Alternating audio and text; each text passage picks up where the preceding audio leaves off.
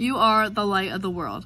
Like a city on a hilltop that cannot be hidden, no one lights a lamp and then hides it under a basket. Instead, it is put on a stand for everyone in the house to see.